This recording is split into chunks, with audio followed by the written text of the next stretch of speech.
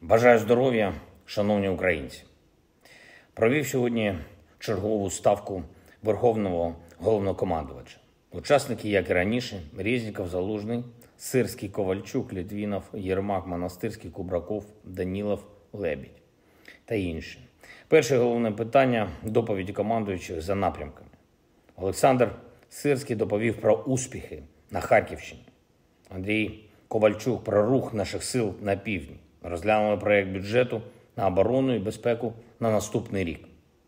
Детально проаналізували ситуацію на звільненій території нашої держави. Станом на цей час стабілізаційні заходи завершено в районах загальною площею понад 4 тисячі квадратних кілометрів.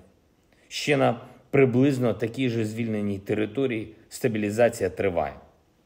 Виявляються залишки окупантів, диверсійних груп, затримуються колаборанти, повертається повна безпека. Прикордонникам доручено забезпечити охорону державного кордону на ділянках на звільненій території. Ще раз дякую усім нашим бійцям, які забезпечили такий масштабний, швидкий розгром окупантів на території Харківської області. До речі, підписав сьогодні черговий указ про нагородження наших воїнів. 153 учасника бойових дій відзначені державними нагородами, із них 12 посмертно. Усі за хоробрість в боях на сході нашої країни, на Харківщині, на Донбасі. Дуже важливо, що разом з нашими військами, з нашим прапором на деокуповану територію заходить і звичайне нормальне життя. Як приклад, у Балаклії, у Граковому вже почалась видача пенсії одразу за 5 місяців, за той час, коли ми просто не могли здійснити виплати через окупацію.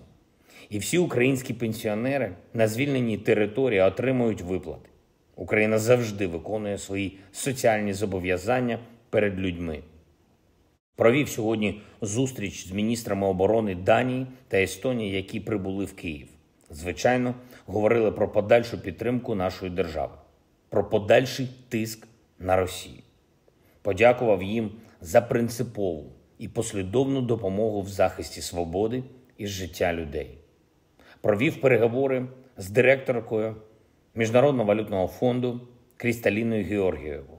Подякував за виділення мільярду 400 мільйонів доларів додаткової підтримки для нашої держави. Обговорили нову програму співпраці і загалом збереження фінансової стабільності України. Маємо результат нашій роботі над гарантіями безпеки для нашої держави. Сьогодні був презентований пакет рекомендацій міжнародної групи під керівництвом Андрія Єрмака і Андерса Фограсмусена. Саме такі рекомендації мають увійти в основу майбутньої системи безпекових договорів, які дадуть українцям спокій і зможуть гарантувати недопущення будь-якої війни проти України. Ми працюємо над тим, щоб гарантами безпеки нашої держави стали найсильніші суб'єкти вільного світу, щоб на багатосторонньому та двосторонньому рівні було детально визначено, хто, як і коли має реагувати, якщо виникне будь-яка загроза державній безпеці України, реагувати санкціями, постачанням зброї, усією необхідною матеріальною і фінансовою підтримкою. Головне чіткі і юридично обов'язкові кроки, конкретні і вчасні дії, зокрема превентивні дії, направлені на недопущення війни і охолодження намірів агресора. Тобто, все те, чого у нашої держави не було раніше, і через що Росія знаходилась в ілюзії, ніби їй можна зійти з рук війна проти України. Ми вже побудували разом з нашими партнерами потужну антивоєнну коаліцію, до якої входить десятки різних держав. А тепер працюємо над тим, щоб найпотужніші держави, які нам вже допомагають, стали коаліцією миру, який триватиме постійно. Говорив сьогодні з прем'єр-міністром Італії Маріо Драгі. Поінформував його про ситуацію на передовій, про успіхи нашої держави. Ми завжди відзначаємо у кожній перемозі України є і перемога тих, хто разом із нами захищає свободу, захищає європейські цінності. Італія серед найміцніших.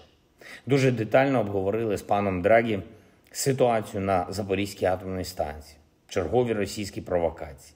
Дякую за розуміння, що демілітаризація ЗАЕС це фундаментальна умова для повернення радіаційної безпеки усім нам в Європі. Дякую всім, хто допомагає нашій державі виганяти окупантів.